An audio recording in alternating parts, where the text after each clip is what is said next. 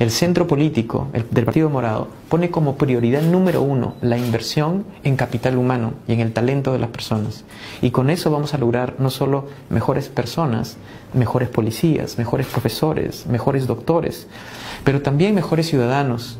Y vamos a lograr otra cosa que es el segundo elemento de la ideología morada, que es lograr finalmente una economía diversificada. La posibilidad que el Perú pueda estar en control de su propio progreso y no esté prisionero o capturado de una forma de crecer que el día de hoy es absolutamente insostenible y vulnerable, que es la venta de, eh, de materia prima.